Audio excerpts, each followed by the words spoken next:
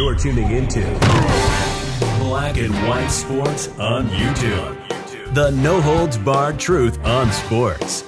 The main event starts now. Here we go, guys. The Tiger Woods drama does not end. So many people now just so triggered over what Tiger Woods did.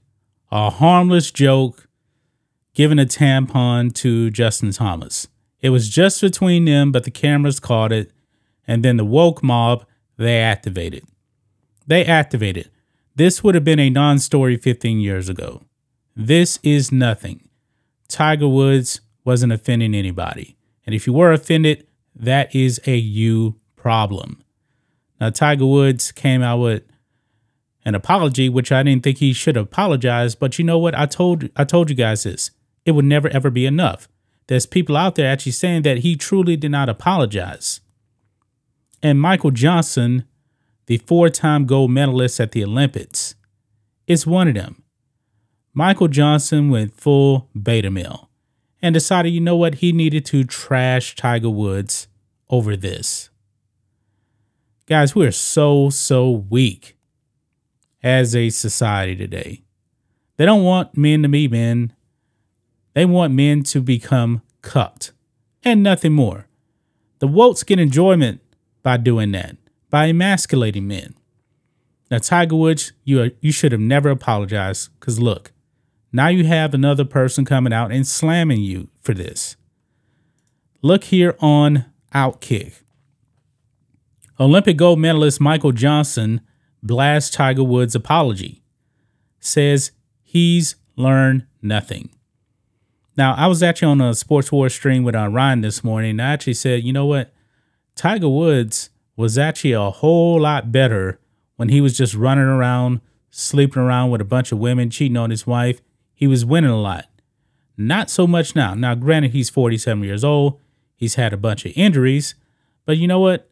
I'm just being honest here. A lot of your top athletes out there, they do stuff like that.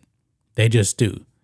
The media's not going to talk about it, you know, but we know they were actually running around and being kind of wild. And that's what Tiger Woods was doing. But in this case right here, what Tiger Woods did was nothing. It was a joke. You know, this is why comedy is actually dead right now because com- comedians actually be- being canceled left and right. The Wokes are still going after Dave Chappelle. They are relentless. But Dave Chappelle, he's still here. Let's read this, guys. Tiger Woods made he- headlines Thursday for a prank played on fellow PGA Tour player Justin Thomas. Woods 47 outdrove Thomas 29 on the ninth hole at the Genesis Invitational during the first round. I didn't know that uh, Justin Thomas is actually 29 years old. I mean, Tiger Woods is old enough to be his father. Think about that. Uh, Tiger Tiger sneakily handed something to Thomas while the pair walked off the tee box. Because it's Tiger Woods, cameras caught the item in question. It was a tampon. Of course, many people lost their minds over the harmless prank. Yeah, my video the other day, you had this uh, woke uh, women's group actually going out there and trashing Tiger Woods. Not a surprise. So Tiger Woods apologized. Lame, but it's basically the way our society works. Except four time Olympic gold medalist Michael Johnson wasn't ready to let Tiger off the hook. He seems to have a problem with the prank, but he really has a problem with the apology. Now, this is what uh Michael Johnson gold slipper. Remember, he actually actually used to run with a gold slipper. He put this tweet out here. Apology starting with quote, if I offended anyone, is no apology. But this is Tiger. Never been a leader, and he's Teflon. Still heralded after all the mistakes, so he's learned nothing. Media focus always on miraculous recovery, ne- never why the need for recovery. And th- this is pretty weak right here. This is pretty weak. This is some beta male stuff here from uh, Michael Johnson. Said he's never been a leader. Now, for one thing, Tiger Woods plays in an individual sport. Who is he actually supposed to be leading besides himself? Now, if you want to talk about him on the leaderboard, uh, he's won what uh, 82 times. Michael Johnson, 82 times he's been a champion at events, and he has 15 majors, the second most of all time. I think he actually knows something about leading to wins, okay? I mean, I don't know why he actually thought he had to come out and say something. I mean, is uh, Michael Johnson now just that irrelevant right now? I know it's been quite a while. I mean, the last time he actually ran in the Olympics, I believe, was actually in 2000 in Sydney, and he did win a gold medal there. In Atlanta, though, in 96, he won three gold medals. Michael Johnson was tremendous. But now he's just a beta. Came into the woke mob, and this is what the wokes want men to do. They want other men to go out there and trash other men. And I believe that just needs to stop.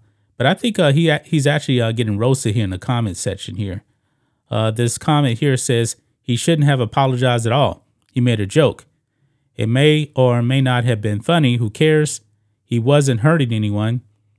We have totally lost our way if we can't uh, even attempt to make a joke anymore. Yeah.